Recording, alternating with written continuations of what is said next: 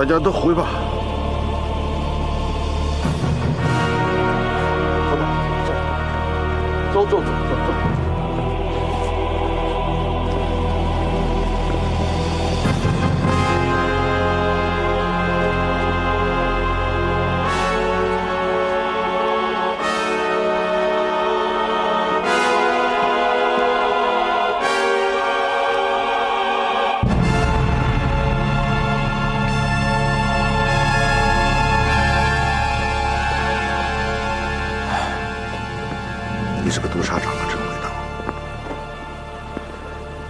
既不得罪领导，也不得罪干警，也不得罪家属。其实，这不是我要的结果。要按照我的意思，这墓碑上就应该刻上“长路烈士之墓”。我听着你这个说话的口气，怎么越来越像个局长了？县长，你别误会，我要真是个局长，宋长武就不是这个宋了。你看看那边。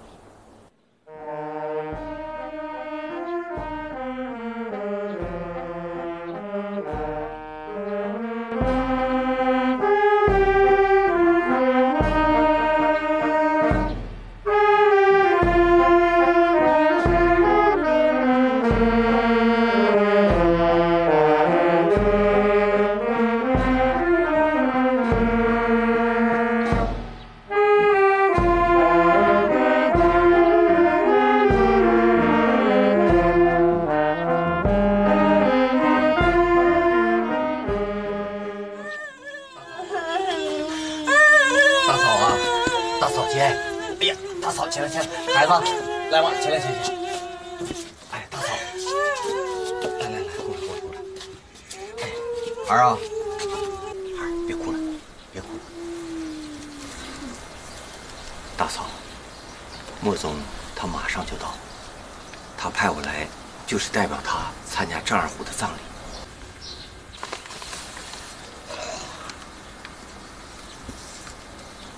大嫂，这里边是一张五十万元的支票，你先拿着，拿着。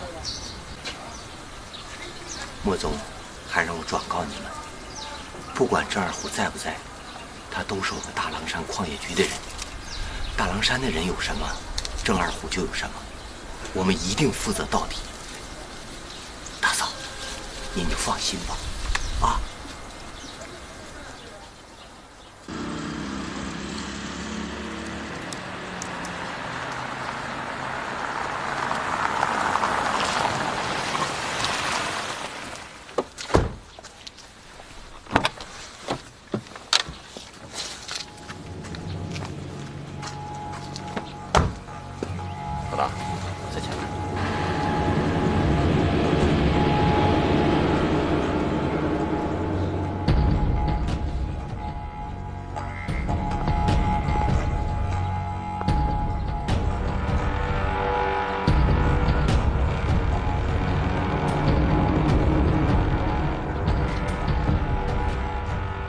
真是怎么都没有想到，咱们居然会在这儿见上一面。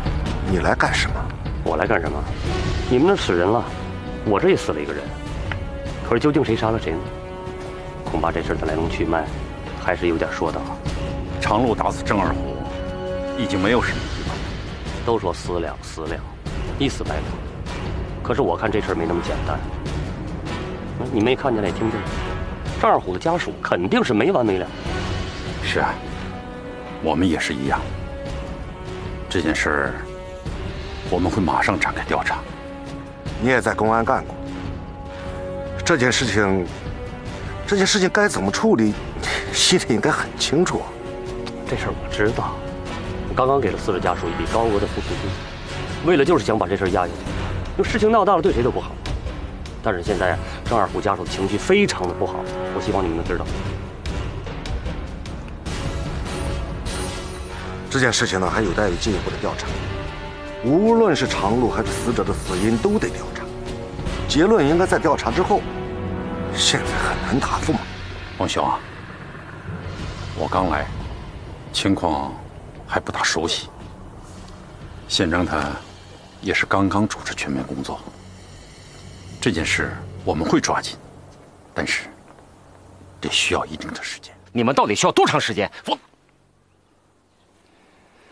哎呀，老同学啊，这么多年了，你们也了解我，我不看僧面肯定看佛面吧。但是不管怎么样，一定要尽快的给死者家属一个说法，要不然后果不堪设想。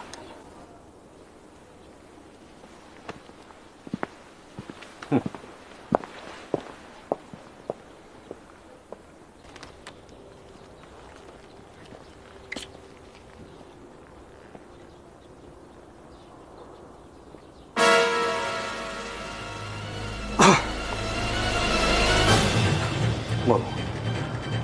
想单独和你说两句话。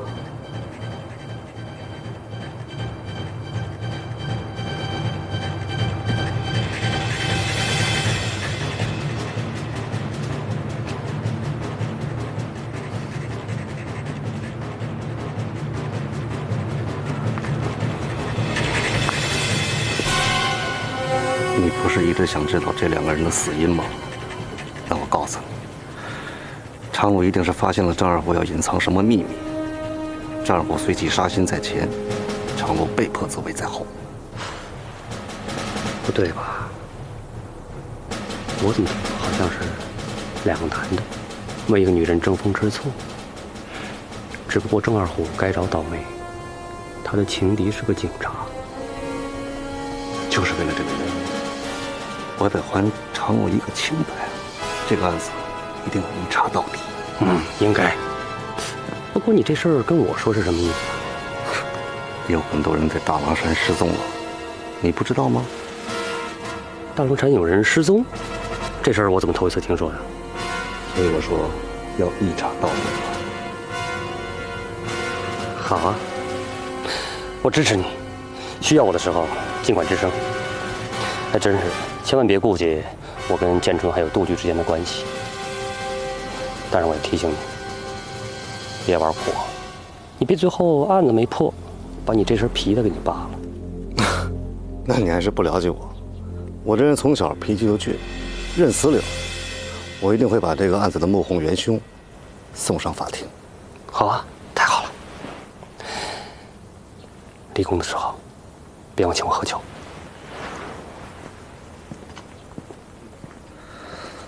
一定。